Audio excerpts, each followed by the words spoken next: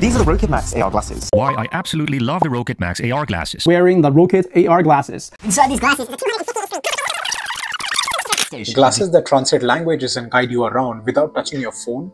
Well, that's what Rokid just launched. Rokid launched the glasses on August 26, 2025 in New York City and it tapped into three powerful levers. Scarcity. Only the first 2000 backers got early bird price of $479. Urgency.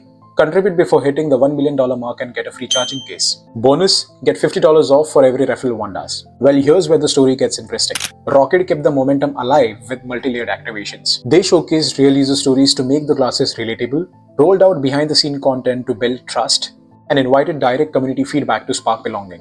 The high-profile marketing event consisted things like live demos let people try the glasses firsthand, interactive booths highlighted features like real-time translation and AR navigation, Influencers and media walked away with content that spread the story further, making a global buzz. Although I'm curious to check how would Rokid deal with the steep tariffs while competing in the US with the current players in the smart glasses market.